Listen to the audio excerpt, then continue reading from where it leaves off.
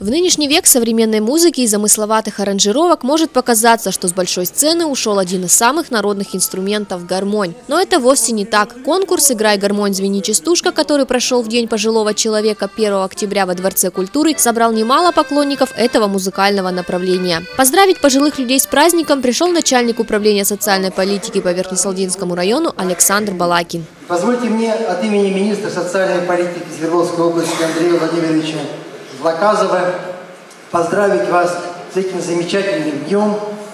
И прежде всего поблагодарить за тот огонек, который вы содержите у себя в сердцах.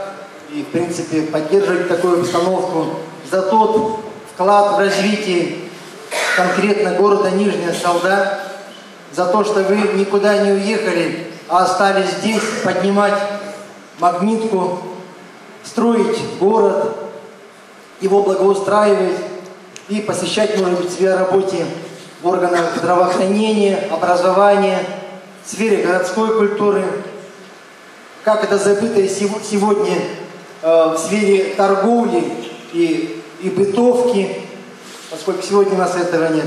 Вот поэтому от всей души я хочу всех ветеранов Э, поблагодарить за тот труд, который они вложили. А между тем конкурс начался, и в нем приняли участие лучшие гармонисты города. Открыть мероприятие поручили самым юным участникам. Однако своими талантами порадовали не только молодые дарования, но и гармонисты со стажем. Мы с тобой поедем на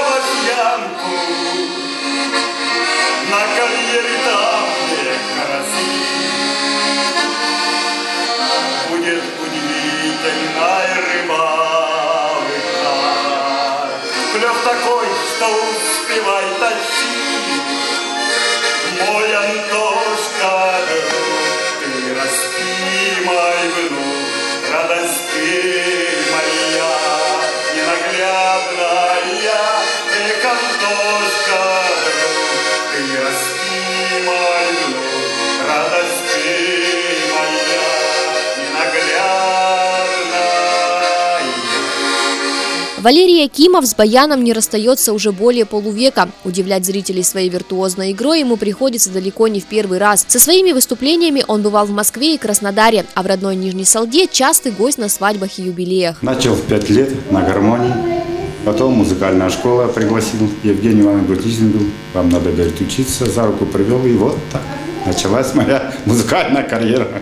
Сегодня гармония заслуженно забыта, сетует музыкант, и многие с ним солидарны. А ведь когда-то этот музыкальный инструмент был настоящей ценностью, а умение на нем играть значило многое. Посмотреть на игру лучших гармонистов города в этот день из деревни Нелоба специально приехала Зинаида Ивашкова. Во времена ее молодости, говорит женщина, играли на гармонии мало. Мы работали всю жизнь до яркой. Утром 5 часов встанем и вечером в 12 часу приходили. А гармонь какую? А гармонь где у нас? Гармонь-то не, не больно было. 8 марта, да, Новый год праздновали. На празднике немало аплодисментов сорвали и частушечники.